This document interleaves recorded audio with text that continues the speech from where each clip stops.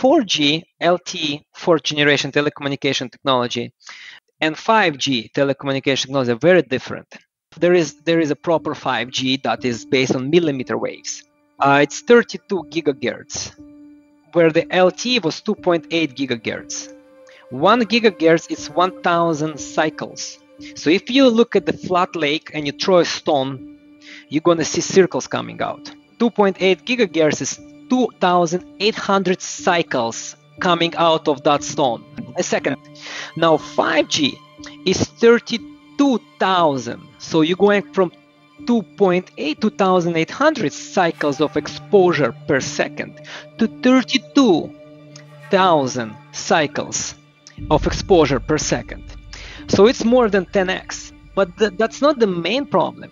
The main problem is that uh, you see millimeter waves, as much as they can transfer so much information, they're not able to go long distance. The LTE, you would have this, you will see this antenna, and they could sp- spread them in a city, and, and they can be like 20, 25 kilometers away of each other, and you will still be in a grid. The millimeter waves, they're not traveling further than 400 feet. Even three crown, crown affects it. So now what they're doing, they need to create a, a lot of transmitters, and they usually go into streetlights I live in Toronto, you walk downtown Toronto, you see the street lights left and right. So they put them one yes, one no, one yes, one no, and alternatively on the other side, one yes, one no. With 4G, let's say you had uh, in Toronto, in the city of Toronto, you had 10 antennas. But with 5G, they need to have 40,000, maybe 100,000 transmitters in the same city.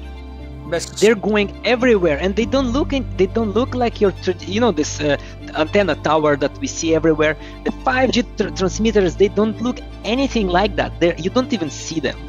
They're tiny little modules that again they put them literally in a box of the street light and they're and, and they're just everywhere so what's going to happen you will always be in a very very close proximity to the source of electromagnetic uh, exposure I remember I was I, I was only allowed to type an SMS of like 30 characters, like 30 letters SMS.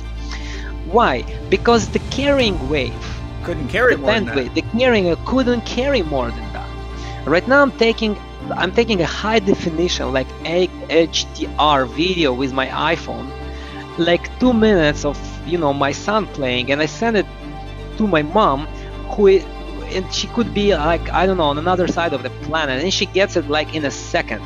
Can you imagine what kind of energy behind it? Taking that information, like like how does it happen? So we live in a very polluted digital noise.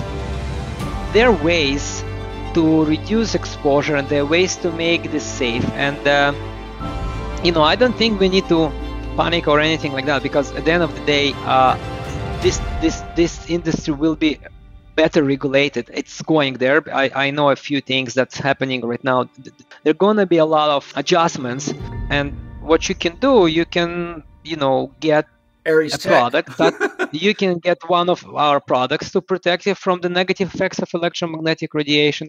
You can consider getting some other products. Uh, most of them are holistic, as I said. Our product is a technology based, and that's that's the main difference.